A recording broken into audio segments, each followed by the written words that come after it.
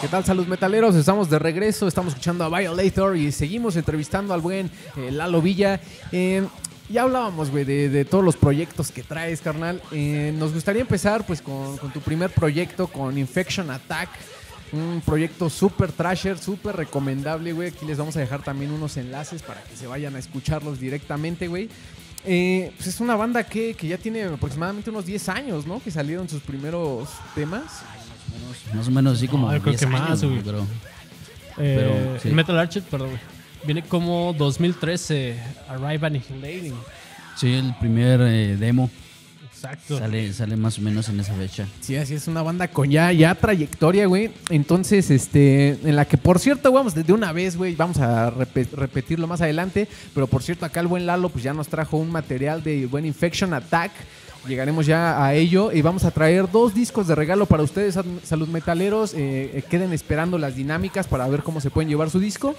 Y cuéntanos, Lalo, eh, ¿cómo, ¿cómo arranca Infection Attack, güey? ¿Cómo empezó este pedo? Infection Attack nace en el 2011.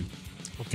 En el 2011 con, con mi carnal y con otro primo que ahí eh, fue como que el primero en, en tocar la guitarra y ese pedo. Y este, entonces era mi carnal, mi primo y, y yo. Y ya de ahí se nos unió otro primo que se llama este eh, Jera. Él estaba en el bajo y de ahí pues nos faltaba un vocal, ¿no? Y dijimos, ah, pues sí, conoce un vocal, ¿no? Y nuestro primo, el que tocaba la guitarra, eh, tenía un amigo, un amigo de su secundaria, creo. Y ya le dijo, ¿qué pedo, güey? Pues estoy tocando con mis primos y todo el pedo. No, pues jalate. Va. Ah, pues ya jaló ese güey. Lo conocimos, lo tratamos y toda la onda. Y ahí fue cuando nació Infection Attack y éramos cinco integrantes al principio. Éramos cinco.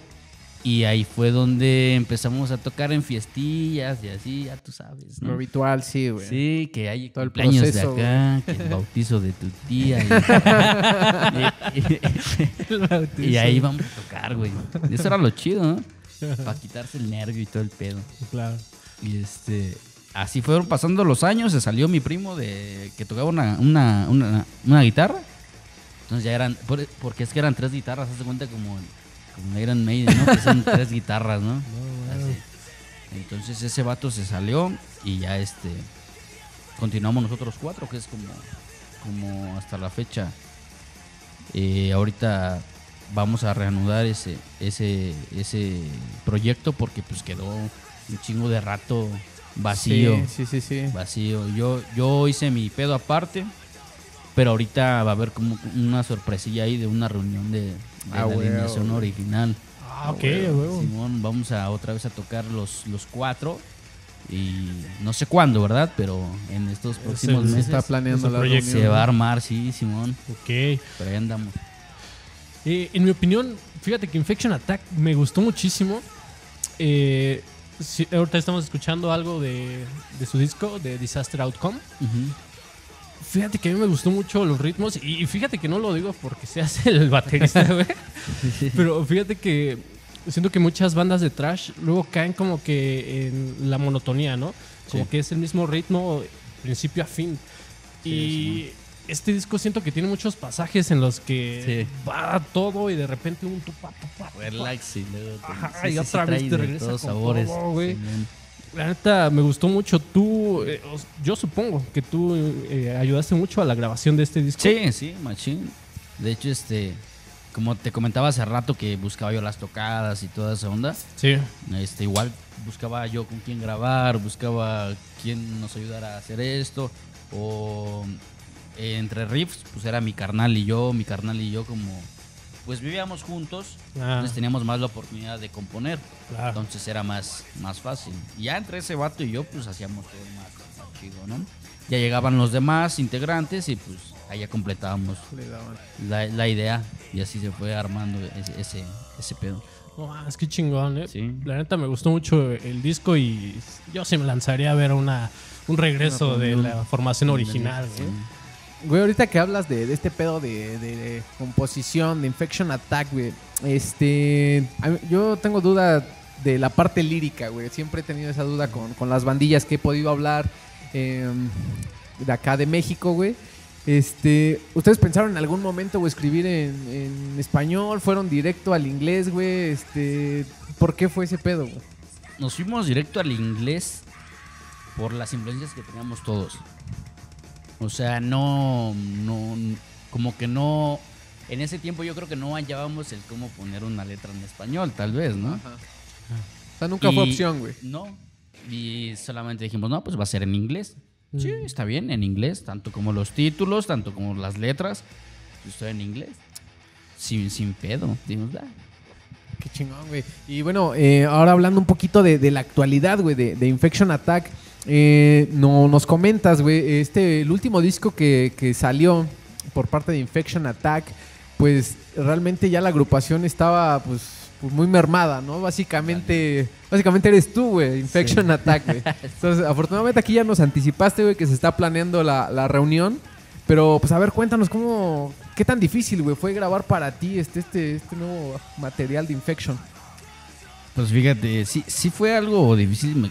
Fue como un año más o menos que, que tardé en, en sacarlo. Pero ya habían unos riffs que quedaron, eh, eh, o sea, cuando era mi carnal y yo. Ok. Ya habían unos riffs que ahí, ahí se quedaron como guardados y, y partes como de, de letras. Ah, ok. Entonces lo que hice yo fue como que recuperar eso que se quedó ahí guardado. Y ya, ya cuando ellos no estaban, dije, pues yo lo voy a, lo voy a sacar. No, no quiero que se quede así este pedo, ¿no? Claro. Entonces ahí fue donde traté como que de terminarlas y aparte agregar una como que una rolilla más. Dije, voy a terminarlas porque creo que habían cuatro o algo así. Y dije, voy a terminarlas y voy a sacar el disco. Y como ya teníamos una disquera, dije, pues va a ser más fácil sacarlo. Le aviso a la disquera, ¿sabes qué? Pues hay un nuevo material, ¿te interesa sacarlo? Pero yo dije, tal vez no, ya no le interese porque ya no somos toda la banda, ¿no? Pero yo dije, pues, chingue su madre, No, lo, lo- bien, güey. lo voy a hacer. Entonces lo, lo hice y con ayuda de mi compa, el Marcel, del Intoxicated, dije, ¿qué pedo, carnal? Ayúdame a grabar esto. Y este, a ver qué tal, qué tal pega. No, pues sí, güey. Entonces lo sacamos y lo chido fue que la disquera volvió a sacar este, este disco que, que ahorita está aquí, que se llama Hallows. Hallows, así es. Ey, Buen pues, Hallows. yo dije, chingón, dije, a la La verga, ¿no? sí, Dije, después de tanto tiempo y viene el nuevo disco, pues, está chido. La neta sí. Ahorita dije, que ah, no, pues, chingonzote, la neta. ¿Qué dices eso de la disquera, güey? ¿Qué, qué tan difícil fue para ustedes, güey? eh, la banda iniciando, ¿qué tan difícil fue encontrar una disquera, güey? ¿Qué tanto se tardaron? Sí nos tardamos, no sé, unos tres años, cuatro años tal vez. Sí.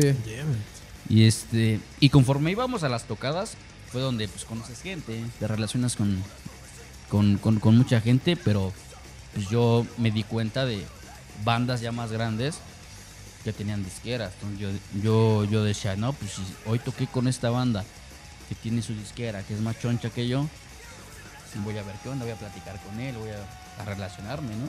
Y así fue como llegué hasta encontrar como al dueño de la disquera y decirle, oye hermano, ¿sabes qué? Pues esto es lo que hago.